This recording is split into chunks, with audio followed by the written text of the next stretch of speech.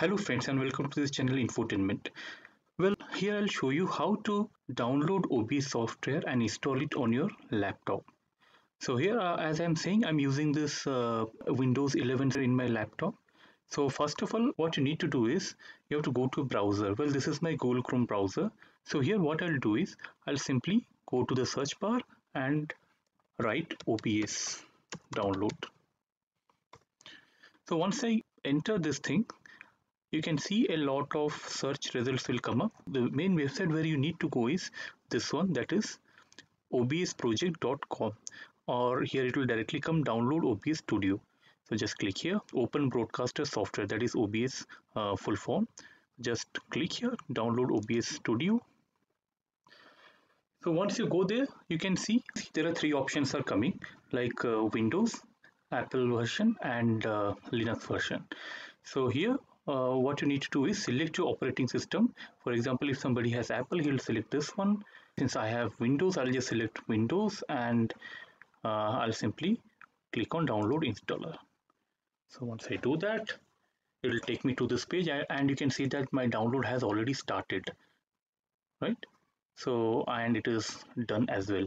And here you can go through this literature. Thank you for downloading OBS studio. You can go through it and what I'll do is I'll simply go to my download folder.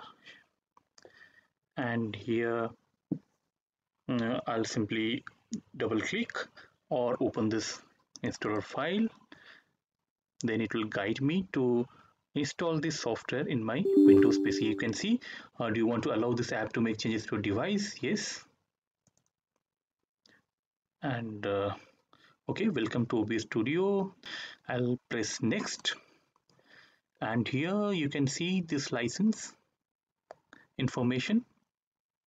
So be sure that you read all these things before going for next. I'll simply go for next. And here you have to uh, either uh, allow it to get installed in C drive or you can browse and set your drive. I'll uh, keep it as it is. You can see the space required as well as space av uh, available. All these things will come up here. I'll go for install.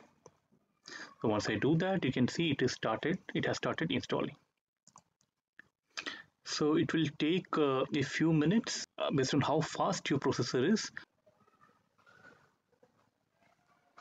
So as you can see, the installation is complete and here it is asking completed setup uh, has been installed on your computer click finish to close setup and it has asked to launch OBS studio.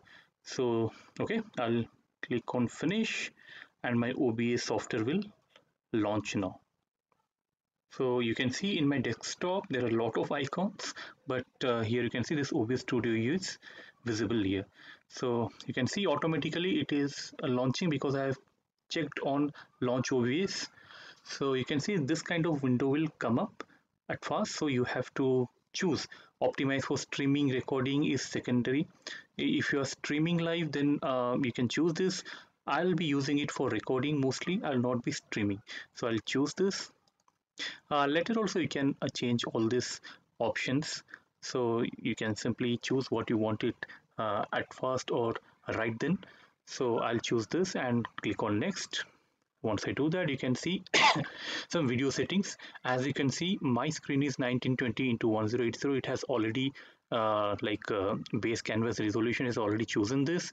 FPS uh, uh, 60 or 30 but prefer 60 wherever possible.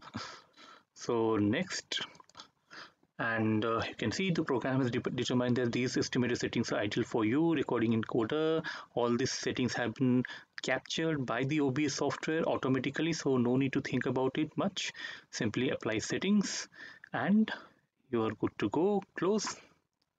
So you can see this is the very uh, look of the open broadcaster software that will get after installation. So in our next video we'll show you how to make the basic setting. As you can see as I speak this uh, mic and all these things are also uh, dancing or also moving according to my speech. So in the next video I'll tell you how to uh, make the basic setup of this OBS software for your uh, usage.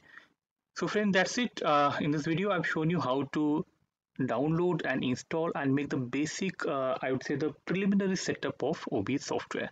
A very popular software for recording and streaming videos. So uh, it is one of the uh, like uh, inevitable software for any youtuber or any person who wants to uh, teach or well who wants to make tutorials please follow this channel to get more of such uh, videos on uh, technical things as well as for uh, this obs software also.